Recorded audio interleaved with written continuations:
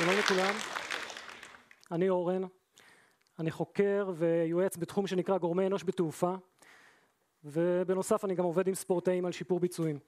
אני רוצה להתחיל בסיפור על אחד המשחקים המדהימים ביותר שהיו אי פעם, ה-22 ביוני 1986, מקסיקו, גביע העולם בכדורגל, המונדיאל, רבע גמר, ארגנטינה נגד אנגליה, משחק טעון מאוד, רק ארבע שנים לפני כן מלחמה, אשכרה מלחמה, בין ארגנטינה לאנגליה, מלחמת פוקלנד.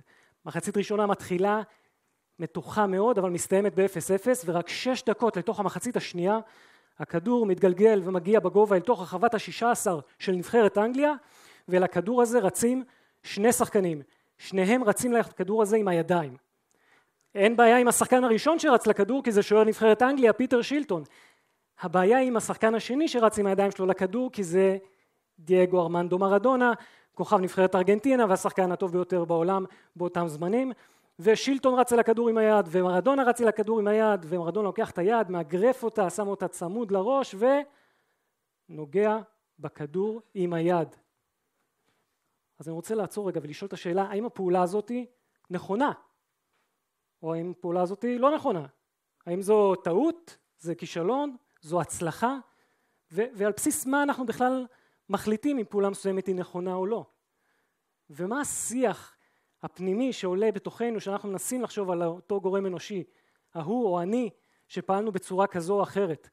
האם אנחנו מנסים ללמוד, להבין או אנחנו עסוקים באיזושהי הלקאה עצמית? האם אנחנו באמת מנסים לשפר כאן ביצועים? אז נחזור למרדונה בהמשך, אני רוצה אבל לחזור לנושא שיפור הביצועים. כולנו רוצים להשתפר בביצועים שלנו, במגוון תחומים כאלה ואחרים, בעוצמות שונות, וכמובן בעולם הספורט, בסביבה תחרותית. אבל יש עולם תוכן נוסף שלקח את נושא שיפור הביצועים והשקיע בו המון המון משאבים לאורך שנים והגיע לרמת ביצועים גבוהה מאוד וזה עולם התעופה. למה הדבר הזה קרה דווקא בעולם התעופה? מסיבה מאוד פשוטה, בעולם התעופה מרווח הטעות הוא קטן אבל עלות הטעות מאוד מאוד גבוהה. 1977 באי תנריף בשדה התעופה שני מטוסי בואינג 747 ג'מבו מתנגשים אחד בשני.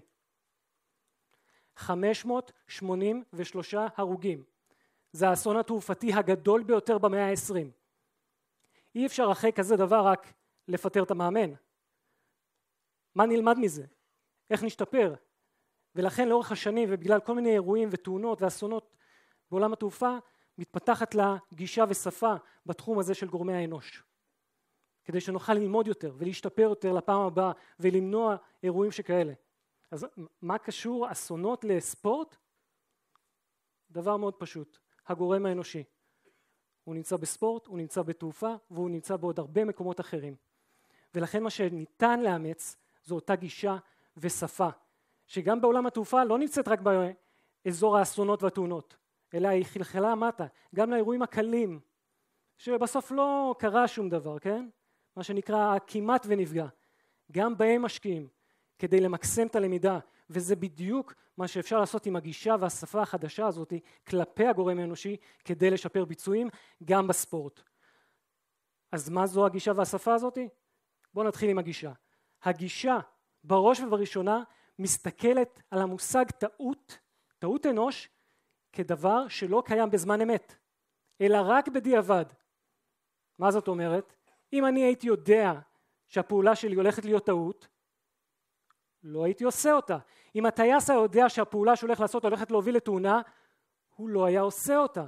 אם הכדורגלן עכשיו שהולך לבעוט בכדור היה יודע שהכדור הולך לעוף ליציאה, הוא לא היה בועט אותו. אם שחקנית הכדורסל יודעת שהמסירה שלה הולכת להיחטף, היא לא הייתה מוסרת אותה.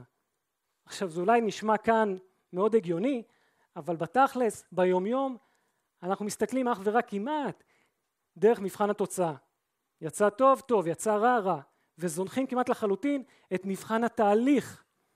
מה זה אומר? לנסות להיכנס לנעליהם של האנשים שביצעו את הפעולה, או אני עצמי, באותה נקודת זמן ומרחב, לנסות להבין למה. למה פעלתי כפי שפעלתי? למה הם פעלו כפי שהם פעלו?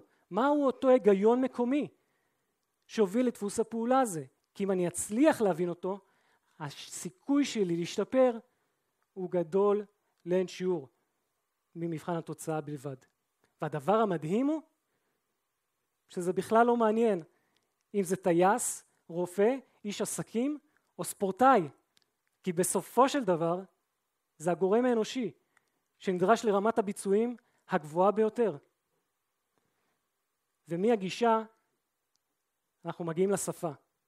השפה שנגזרת מהגישה היא למעשה שפה קצת שונה ממה שאנחנו רגילים בדרך כלל להשתמש. כי השפה האינטואיטיבית שלנו היא שפה שיפוטית וגם מאשימה. כלומר, גם ברגע הזה ובדקות האחרונות אתם שופטים אותי. אה, הוא מרצה טוב, פחות טוב, הרצאה יותר מעניינת, פחות מעניינת, עוד כמה זמן נשאר לנו וכולי. אין עם זה בעיה, אנחנו עושים את זה כי אנחנו אנושיים. אבל הבעיה לשיפור ביצועים בהיבט הזה, היא כשאנחנו מתעסקים עם שיפוט, אנחנו לא מתעסקים בהבנה, וזה החלק הקריטי כדי ללמוד ולהתפתח. אז נכון, שפת השיפוטיות וההאשמה המאוד מאוד פופולרית נמצאת לנו בכל הפריים טיים ובעולמות אה, הפרשנות ספורט או הפוליטיקה ואולי טובה מאוד לרייטינג ואולי גם למנדטים אבל לשיפור ביצועים לאנשים שצריכים להראות יכולות קצה על המגרש היא לא תורמת כל כך הרבה. וכאן תמונה הבעיה שלה. השפה שבה אנחנו צריכים להשתמש כדי לשפר ביצועים היא לא השפה האינסטינקטיבית האינטואיטיבית. היא שפה שדורשת משאבים. אי אפשר לשלוף אותה מהמותן. צריך לנשום לספור עד עשר לנסות להבין למה.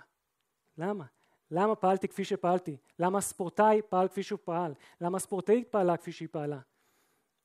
זו השפה המרכזית לשיפור ביצועים מרדונה נגע עם ידו בכדור השופט אישר את השער ארגנטינה המשיכה לנצח את אנגליה, את בלגיה בחצי הגמר ואת מערב גרמניה בגמר וזכתה בגביע העולם 1986 ודייגו רמנדו מרדונה הגיבור הגדול של ארגנטינה.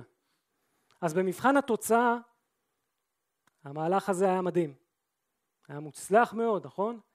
אבל אם לשבריר השנייה השופט כן היה קולט את היד הזאת של מרדונה, היה פוסל את השער מרחיק את מרדונה וככל הנראה מחרב את הסיכויים של ארגנטינה לנצח את אנגליה ולזכות בגביע העולם. אז מבחן התוצאה שהוא עומד לבדו הוא קצת בעייתי לשיפור ביצועים לאורך טווח זמן. המבחן שאנחנו צריכים לאמץ הוא מבחן התהליך, לנסות שוב להבין למה אנשים פעלו בדרך שבה הם פעלו באותה נקודת זמן ומרחב, לנסות להסביר כדי ללמוד, לא כדי לספר סיפורים, כדי שנוכל לבנות תשתית חזקה יותר לשיפור ביצועים ולהצלחה בהמשך. ולגבי הפעולה של מרדונה, אתם תצטרכו להחליט מה ללמוד ממנה. תודה רבה.